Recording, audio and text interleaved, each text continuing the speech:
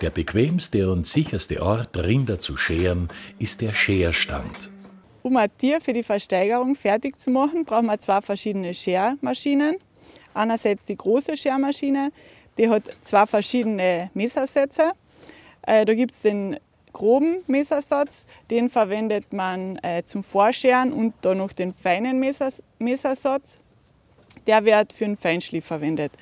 Die kleine Schermaschine verwendet man für die Feinheiten, das heißt Fiers, Schwanz, Kopf, Ohren, Hals. Und äh, für die kleine Schermaschine gibt es drei verschiedene Messer, die wir verwenden. Einerseits das 50er Messer für äh, ganz feine Stellen, Euter zum Beispiel bei der Milchkur. Äh, 30er Messer für Fiers und Teile vom Kopf und das 10er Messer für andere Teile vom Kopf. Äh, wir haben auch noch ein Schermaschinenöl, mit dem werden die Schermaschinen vor dem Gebrauch eingeölt.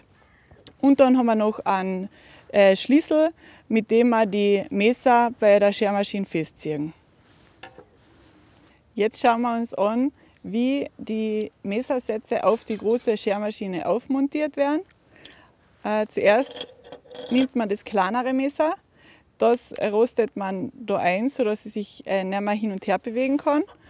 Dann nimmt man das größere Messer, legt es drauf bis zum Anschlag und dann zieht man die Schrauben mit dem Schraubenzieher fest. Im Anschluss macht man die Feder wieder fest bis zum Anschlag. Bevor ich zum Tier hingehe, wird die Schermaschine geölt.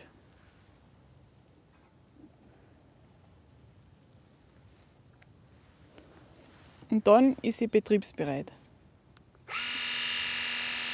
Bei der Schur eines Tieres ist es wichtig, dass man systematisch vorgeht. Wir starten hinten und bewegen uns dann von hinten nach vorne.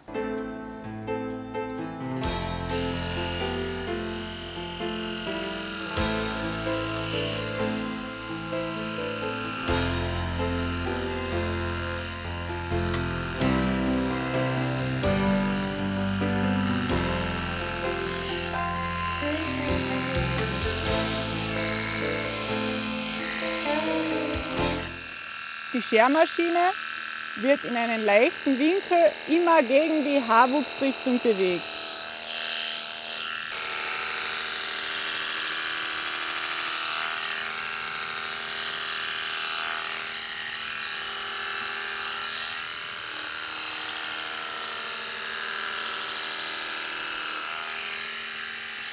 Wichtig ist es, dass während dem Scheren immer eine Hand am Tier ist sodass ich merke, wenn es unruhig wird und ich dann sofort reagieren kann.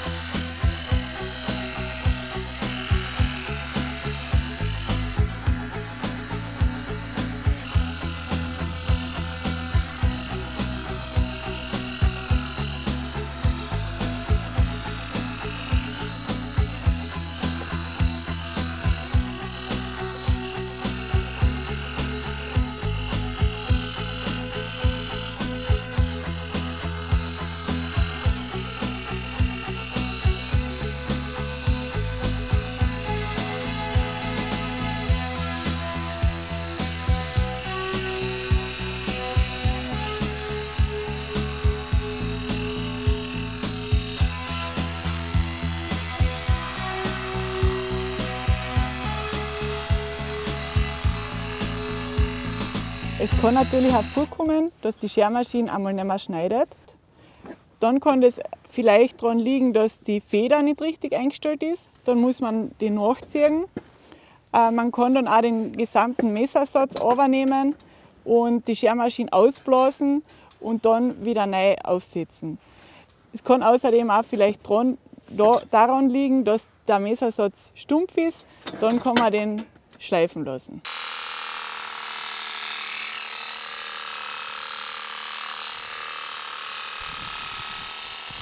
Jetzt starten wir mit der Schure von die Beine.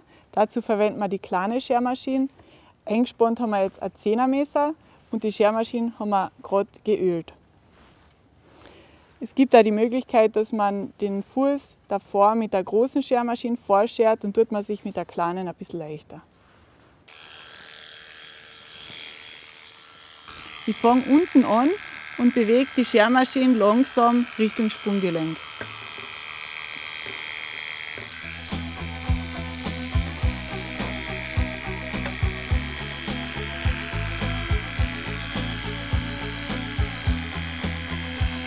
Bei Milchkühe, wo man die Feinheit der Fundamente besonders betonen will, kann man da auch ein feineres Messer verwenden, zum Beispiel das 30er Messer.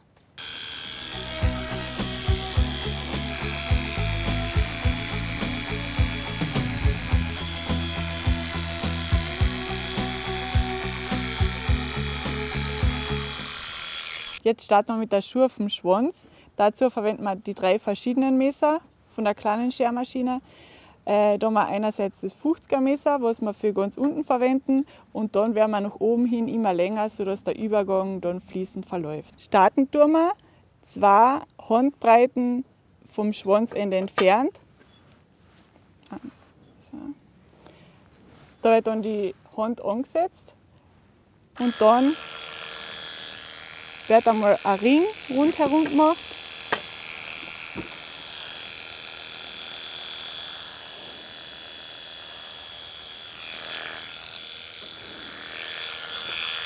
und von dem Ring ausgehend fahren wir dann äh, hinauf, bis der weiße Teil äh, schon abgeschoren ist.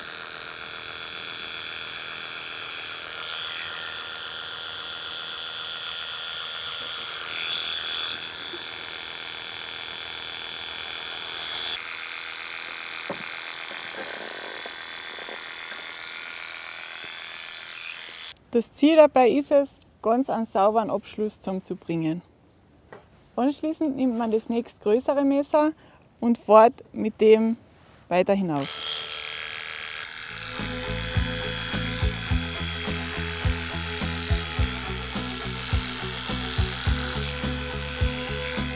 Am Schluss hat man dann wieder das Zehnermesser eingespannt und mit dem schert man den Übergang.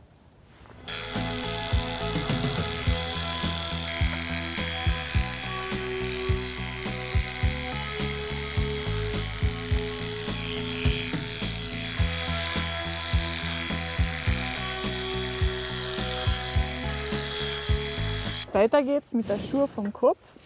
Da verwenden wir wieder die kleine Schermaschine mit dem Zehnermesser.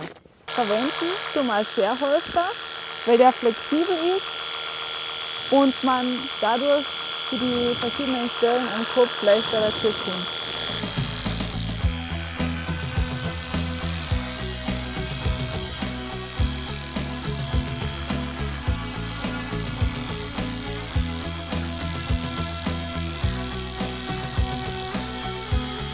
Für die Ohren verwendet man die kleine Schermaschine. Außen wird das 10er Messer verwendet und innen das 50er Messer.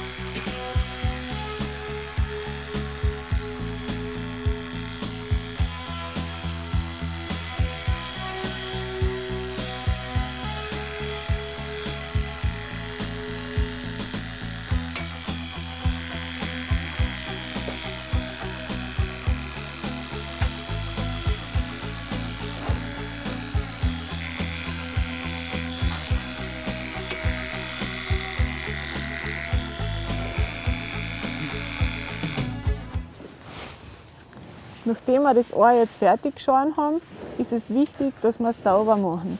Dazu nehmen wir eine Küchenrolle und putzen wir das Ohr an der Innenseite aus.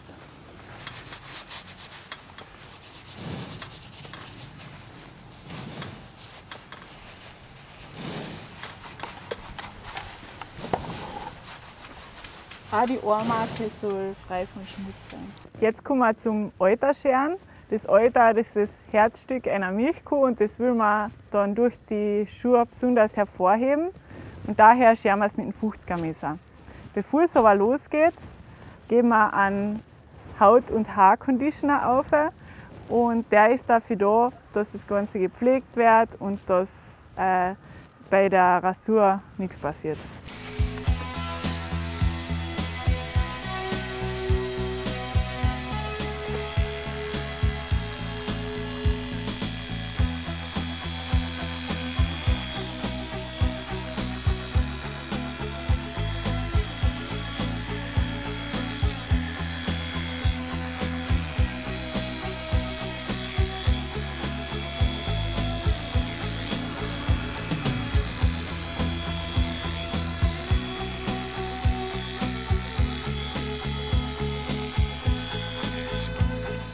Man schert aber jetzt nicht nur das Alter selber mit, der, mit dem 50er Messer, mit der kleinen Schermaschine, sondern auch die Milchader und den Raum vorm Alter.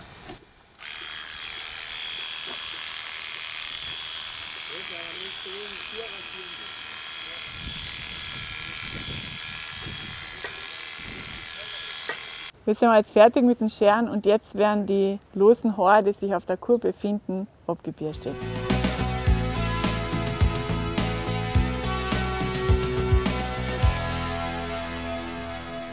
Wir befinden uns jetzt vor dem Versteigerungsring. Jetzt ist es wichtig, die Kur zu beruhigen und ihr zu sagen, dass wir da sind. Und besonders achten muss man jetzt auf die Halfterhaltung.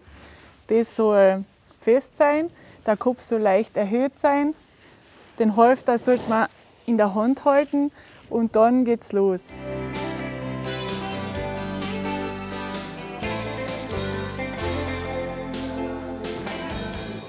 Im Ring soll sich das Tier von seiner besten Seite zeigen.